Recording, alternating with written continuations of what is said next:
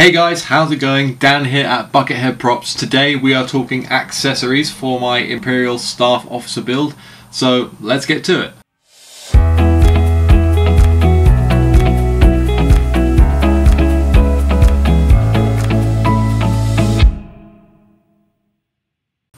So, like I said guys, today we're talking accessories, all the extra little bits and bobs you need to go with your costume. First off, we have the rank badge, kind of a uh, necessity for anyone wanting to be an officer in the Star Wars universe. Um, this one is mine. It's a lovely replica made by FDFX. I'll give you some close-ups here. Now, these are made from a metal bar with push buttons attached to them. Now the originals were made using these uh, buttons which would have been buttons for machinery.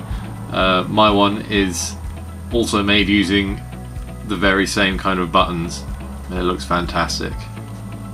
As always I'll leave a link in the description below uh, to the makers of these uh, fantastic objects that I've got here.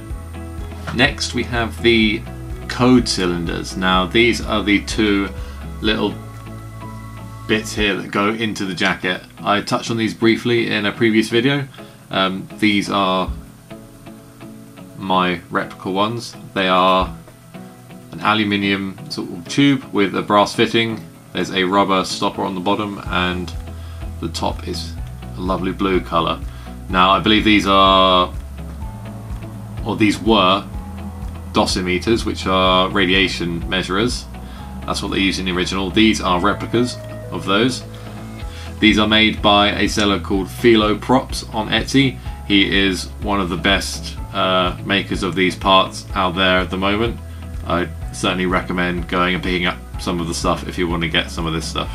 Now these are the belt boxes. They obviously go onto the belt. They go either side of your belt buckle. You can have them either portrait landscape. I've got mine set up to be upright, you can just uh, move these around the other way to have them this way. Uh, these are a very good copy of the original ones. I'm not sure what they used uh, for the original boxes in these, but um, these are very good copies. They're very solid aluminium, you know, full metal, just a really good copy. So again, I recommend picking these up should you want to uh, go that route. And finally, you would have seen this before in a lot of my other videos. Uh, this is the little greeby that goes onto the hat. Um, it is a little disc with a notch cut out at the top. These were aluminium pulleys from record players.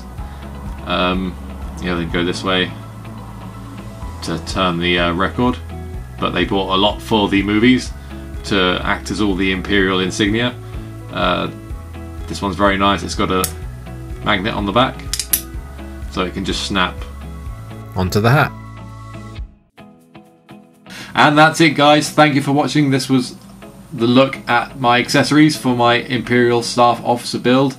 Uh, next up will be the boots, which I have in my possession. It's really exciting.